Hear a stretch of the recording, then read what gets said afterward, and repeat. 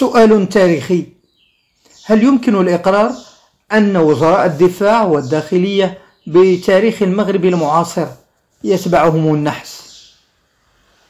بداية المهد المهدي المنبهي وزير الدفاع الذي يمكن أن نصنفه أو نصفه بنموذج مطابق لدريس البصري.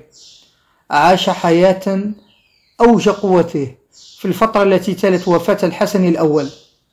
1894 اسمه المهدي المنبهي وبدأ مساره مع المخزن كعامل بسيط بالكاد يتم تكليفه بمهام السخرة في منزل أقرب رجال الحسن الأول إليه.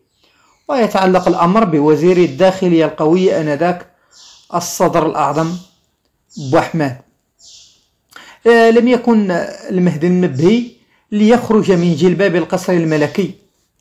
وكانت أول مرة وضع فيها قدمه ورجله بساحة القصر عندما كان مشغله الصدر الأعظم بوحماد مريضا. فكلفه بنقل رسالة إلى القصر الملكي. وألا يضعها إلا في يد ابن الحسن الأول والذي كان في أول أيامه في الحكم بعد وفاة الحسن الأول مباشرة. يعني كان صغيرا جدا. وهكذا أصبح المهدي المنبهي هو المراسل والضيف الوحيد الذي يدخل باب القصر الملكي دون أن يستجوبه أحد أو يسأله عن وجهته ولا يتوقف إلا عند باب عبد العزيز بن الحسن الأول. وهكذا بعد وفاة بوحمد مباشرة أصبح المهدي المنبهي وزيرا معنويا لكل الوزارات قبل أن يتم تكليفه بوزارة الدفاع. من جهة أخرى يعني زوجة المهدي النبهي ذات الأصول الفاسية والتي كان قد تزوجها عندما أصبح نفوذه يتقوى بعد أن وضع أبو أحمد ثقته الكاملة فيه. كانت هي الأخرى تعتبر تعتبر سيدة من سيدات المجتمع الفاسي. رغم أن المهدي النبهي الذي كان ينحدر من منطقة مراكش تزوجها بناء على اتفاق قبلي. وأكرر هذه العبارة.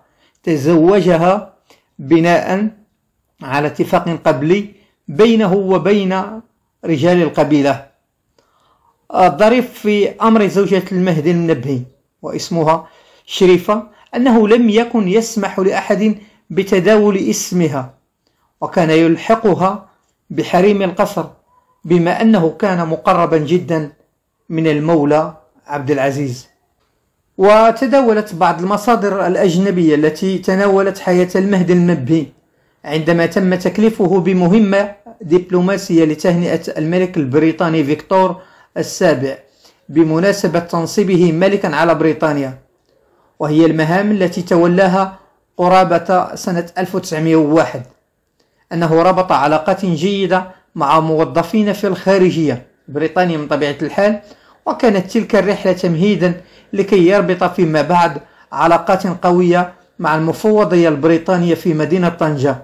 وهكذا أصبحت زوجته التي كانت تلقب بالشريفة تتمتع بشعبية كبيرة في الدوائر العليا وفي الجلسات الخاصة.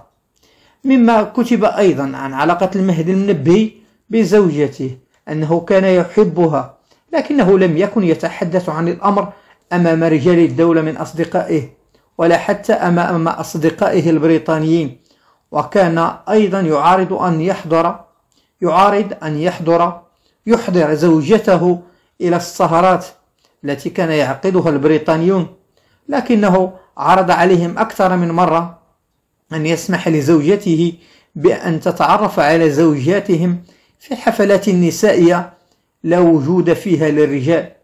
على أن تقام الحفلات في منزل المهدي النبهي. حازت الشريفة شعبية كبيرة في أوساط الدوائر العليا بالرغم من أن المهدي النبهي كان يخفيها تماما عن الأنظار وفي أوج قوته كانت زوجته تدخل في حكم الحريم حيث الجناح المخصص لحريم القصر الملكي والمحرم دخوله على الرجال والأجانب. كان الحديث أيضا عن زواج المهدي النبهي من أخريات عندما كان القياد والزعماء يخطبون وده قبل أن يسقط من مجده سنة 1903 واستمر واستمروا قبل ذلك التاريخ في تقديم الهدايا له. ومن بين الهدايا كانت تعرض عليه إيماء وجاريات من بنات بعض القبائل ليتزوجهن. لكن السيدة الوحيدة التي استأثرت باهتمام زوجات أصدقائه الإنجليز كانت هي زوجته الأولى الشريفة التي كانت تجتمع بالأجنبيات رغم أنها لم تكن تتحدث إلا العربية. تروي بعض المراجع التاريخية أن المدعوات إلى الإقامة الفخمة التي كان يسكن بها المهدي النبهي سواء في فاس أو طنجة والتي استقر بها في أواخر أيامه أصبنا بالدهشة في المرة الأولى لجمال زوجة المهدي النبهي وكانت بعضهن قد روين لأزواجهن عن جمالها واهتمامها بالحلي والمجوهرات والأتواب النفيسة.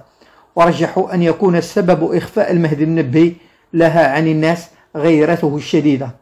لكن ما لم تكن تعرفه ضيفات زوجة المهدي النبهي أن الحياة ستكون قاسية عليها فيما بعد خصوصا عندما خططت الحكومة لإبعاد المهدي النبهي بعد عودته من بريطانيا من أولى مهامه الدبلوماسية لتهنئة الملك فيكتور حيث وجهوا له تهمة تهريب الأموال إلى بريطانيا. كأول شخص تم قام بتهريب هذه الأموال من المغرب إلى من من المغرب إلى أوروبا. ومن طبيعة الحال آه، تمسك ببراءته ويعني ساعده في ذلك البريطانيون. آه، يعني من تهمة الخيانة لكن القصر رأى أن يجدد ثقة فيه عندما تمسك ببراءته من التهم المنسوبة إليه لكنه لم ينجح في إقناع عبد العزيز بالإبقاء عليه وزيرا للدفاع عندما فشل في مواجهة الثورات التي اندلعت في المغرب لا سيما ثورة بوحمارة. ليجد المهدي المنبهي نفسه مجبرا على مغادرة محيط القصر الملكي رفقة زوجته التي كتب عليها أن تعيش معه منفاه الاختياري ولكن برغد من من العيش الكريم إلى طنجة التي كانت منطقة دولية آنذاك ليستقر بها الاثنان رفقة أسرته ويسافر إلى يعني الخارج ويقوم بأعمال تجارية ويعيش بحبوحة العيش. إلى أن توفي المهدي النبي سنة 1941 وتعيش بعده الشريفة لفترة قصيرة فقط. للموضوع بقية قبل ما تخرجوا ما تنسوش تابوناو في la chaîne YouTube وبارطاجيو الفيديو مع أصحابكم في مواقع التواصل الاجتماعي. وما تنسوش ديروا j'aime.